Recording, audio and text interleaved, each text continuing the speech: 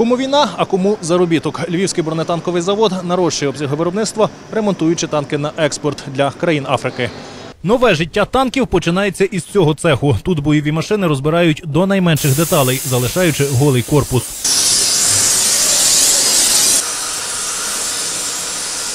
Перебравши кожен гвинтик, танки збирають знову. У першу чергу встановлюють і центрують 12-циліндровий дизельний двигун. Його потужність майже 800 кінських сил. Саме основне ми робимо, а вже основне то вже така справа. Зараз тут капітально ремонтують та модернізують Т-72. Із цього цеху вони виїжджають досконалішими ніж були до того, із кращими прохідними можливостями, більшою вогневою потужністю та новою електронікою. Для точності стрільби стабілізатор. Наводи, пультом наводив той прицел, що там кидали. Тут вже провода, воно йде на коробку, появляється башня.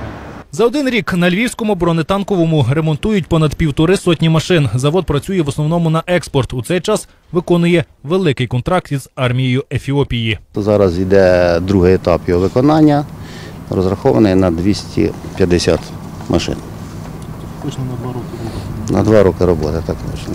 Плюс продовження, там будуть запасні частини, навчання фахівців, е, відновлення заводу в Ефіопії. Домовлятись про співпрацю на завод приїхав міський голова Львова. Звісно, танків не замовлятиме. Йдеться про ремонт комунальної техніки. Але найбільше місцеву владу тішать робочі місця із офіційною платнею. Зараз тут працює майже тисяча львів'ян. Середня зарплата близько 4 тисяч гривень. Ми зараз також думаємо з бронетанковим заводом, а що вони могли би в своїй частині також робити е, для міста чи на замовлення міста. Але звичайно, що всі разом повинні ми думати, щоб основний вид діяльності був все-таки пріоритетом. Тому що то, що вони добре вміють робити. Якщо вони добре вміють ремонтувати танки, значить задача, щоб тих танків було якомога більше.